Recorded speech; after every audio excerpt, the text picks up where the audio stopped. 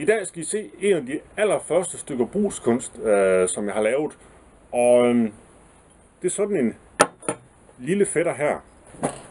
Og der skal nok ikke meget fantasi til at, at se, at det her det er en, en lysestage. Øh, fordi der er også listerin her stadigvæk. Og det her det er faktisk øh, en ting, som er ved at være, være lidt gammel. Øh, jeg lavede den som en opgave i metalsløjt, da jeg gik på efterskole for snart mange år siden.